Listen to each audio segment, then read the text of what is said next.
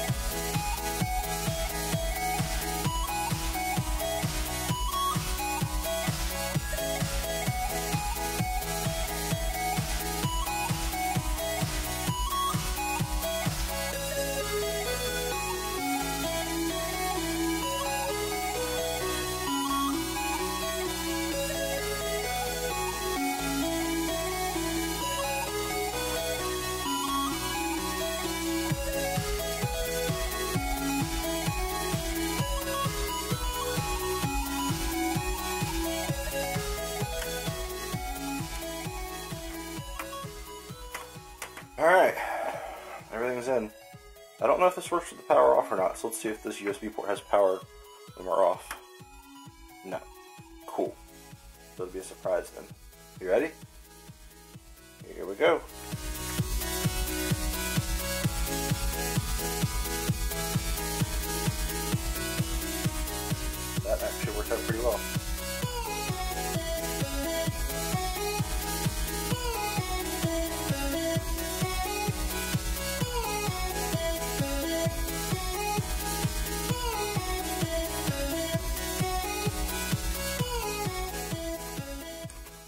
Super sweet. I mean, obviously we're gonna have a, a screen here when we're done, but that's still pretty awesome.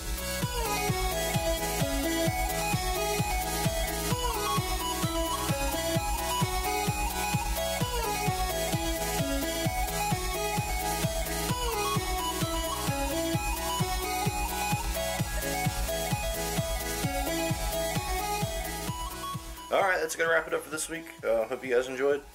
Uh, if you did, hit that like button. Thumb there? Hit that like button. Get subscribed.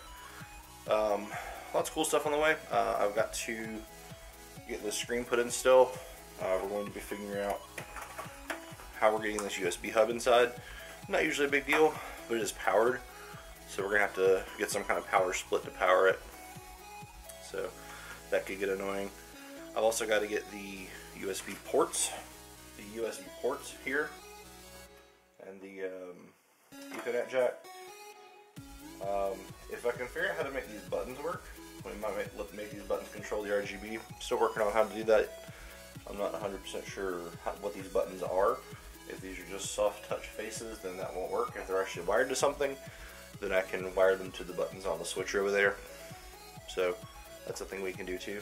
That's a maybe. I'm kind of fine with just the cycling RGB. Um, so USB Ethernet and USB hub are the next small things to do. And then we've got to figure out the screen. I'm going to be rerouting the part for the screen pretty soon. Uh, so as soon as that comes in, we'll be wiring the screen up, getting that mounted up.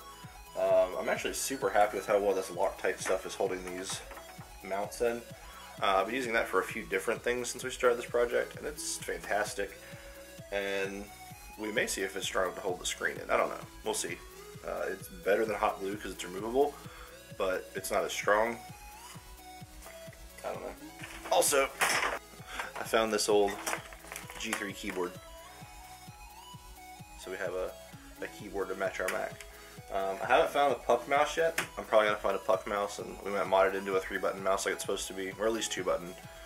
Um, but I think it'd be cool to have the puck mouse with this thing. So, uh, meh, we'll see. It's gonna cost money. I don't like spending money because I'm cheap. But anyway, that's it for now. Hit like, subscribe. See you in the next one.